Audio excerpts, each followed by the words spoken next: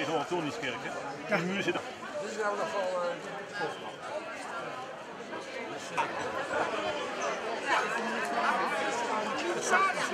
Verhalen over die familie. In onze tijd, tijdens mijn studie, was er nog sprake van patriarchale samenleving, zeker in onze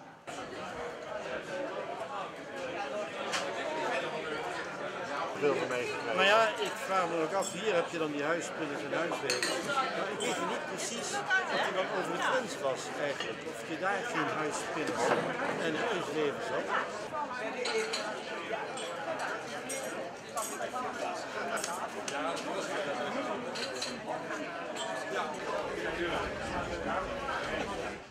Ik ben John Hagen Ventrink en uh, ik ben 68 jaar nu, dus ik ben drie jaar gepensioneerd. Ik heb uh, zo'n beetje mijn leven bij Gelderman gewerkt en bij de Katen, 45 jaar lang. En de reden dat ik hier kom om wat te vertellen is dus, uh, ik ben er sinds kort pas achter dat mijn vader hier ook 15 jaar gewerkt heeft. En ik ben er al langer achter dat mijn opa, die heeft hier 51 jaar gewerkt. Mijn opa die is begonnen in 1886. Die heeft hier gewerkt in 1937. Automatisch haalde hij dus in de familie mijn vader erbij, die heeft hier ook 15 jaar gewerkt. En toen was ik aan de beurt. Ik heb gezegd. Dus mijn vader komt thuis en die zei, ja, ik word niet aan om jongen, god, verdik wat heb je toch gemaakt? Ik zei niks. Ik zei, ik heb gewoon de brood verkeerd gezet. Ik zei, maar waarschijnlijk komt dat door de lange haren. En uh, ik heb een opmerking gemaakt, ook in het, in het gesprek, in de, mijn muziek, muziekvoorkeur was uh, Rolling Stone.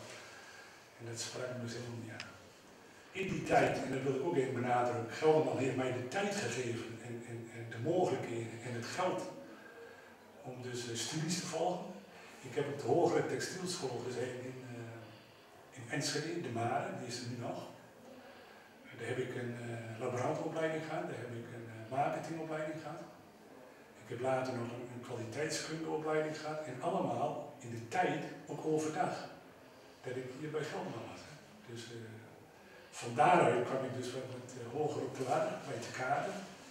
En ben ik later ben ik uh, door de mogelijkheden die Gelderman mij geboden heeft. Dat merkte je al, denk ik, al in, in de tijd dat u daar werkte, zeg maar. Dat, dat, dat anders de benadering naar dus baas toen totaal anders was dan hoe uw vader daarmee omging. Alleen er was nog een baas van de oude stempel. En die heeft de tijd nog meegemaakt als uh, een werknemer te laat kwam uh, die, die gaf zijn mening dat, dat, dat hij een boete van een kwartje Dat is mooi, hè? Ja. Op. Hoe vind je dat? Ja, dat? Zo. Dat is, uh, zo komen we met elkaar. Ja, ja.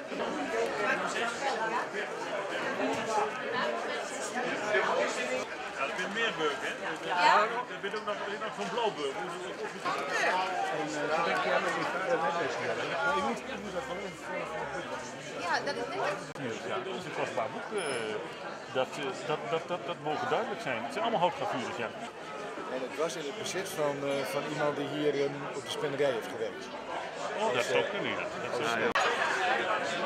Maar die, die, ja, het is gewoon gezellig, leuk. Maar het heeft de HBS gedaan, maar het heeft ze gewoon gehaald tegen de verdrukking in.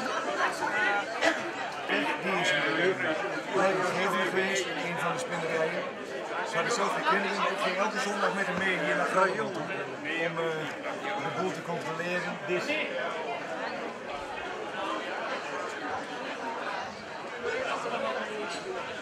Hoi.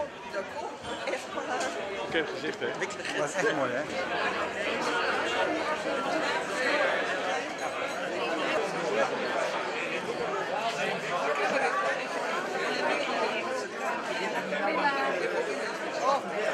Die in ondernemen.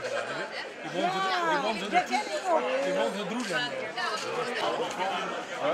Maar welk jaar dacht jij dat boek was? Ach, nee, is van 1862. 1862. Aangeboden aan Arnold uh, Gelderman.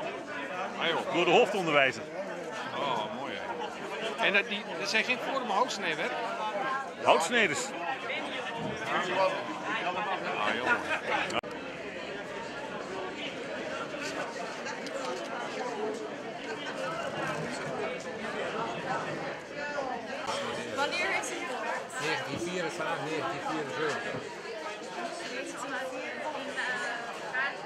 Staat daar er nog bij? Ja, ik moet even richting 4. Ja.